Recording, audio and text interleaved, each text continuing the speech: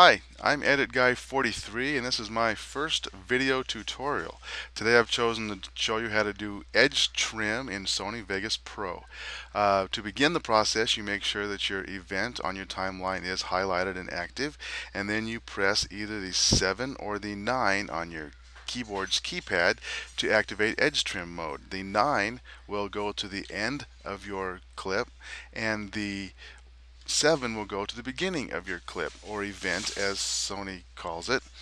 And uh, so what we'll do is we'll go to the end and we'll hit 9 and then you'll notice that there is a red bracket at the end of the clip indicating that you are indeed in edge trim mode and at the end of the event. Now in order to trim you use your 1 and your 3 on your keypad and uh, the 1 will trim one frame to the left the 3 will trim one frame to the right. So if you want to shorten your clip, you will go hit the one key as many times as you need to shorten. And if you notice right above your cursor here is a little number indicator. That shows your seconds and frames that you have trimmed from your event.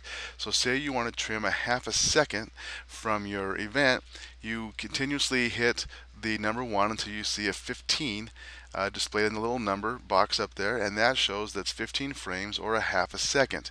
If you want to go farther just continue to hit the one key or if you want to go faster you can hold the one key down and it will trim as long as you hold the button down. And uh, right now it says we've trimmed off two seconds from our event.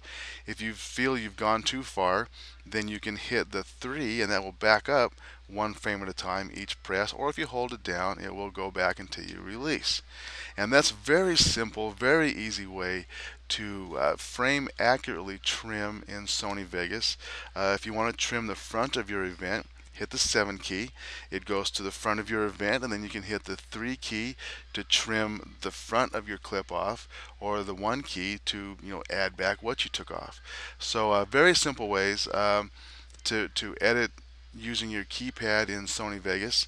I hope you enjoyed my first tutorial and I hope to do more. Thank you.